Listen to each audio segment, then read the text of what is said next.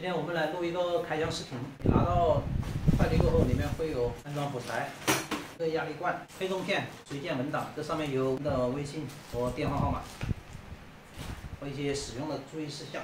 有两个可调的泄水阀，一个水水泵的泵体，这边是进水，这边是出水，然后把泄水阀装到进水的这边，一定要缠好生料带，拧上去，这很简单的。这里有个细节，就是这两个泄水阀，它没有在一个平面上，不是在一条直线上，这是我们故意这样设置的，这是为了一个同步的问题。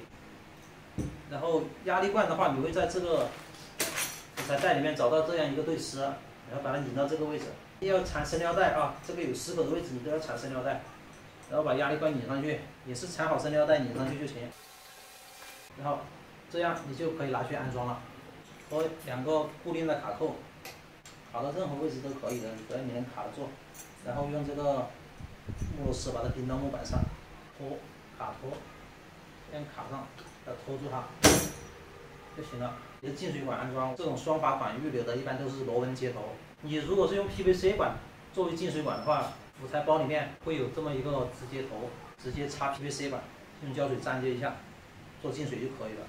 出水管这边也是给你预留的螺纹接头，用 PE 管的话，你就做个内螺纹的，给它拧上去就可以了。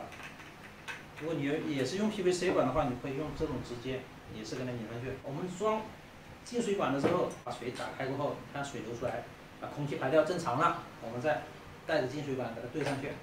哎，这个是快捷，这里不用缠生料带。我看到很多人跑到这里去缠生料带啊，这个内部是有电电圈的，这个快捷位置不用缠生料带啊，一定不要缠。这个位置出水管。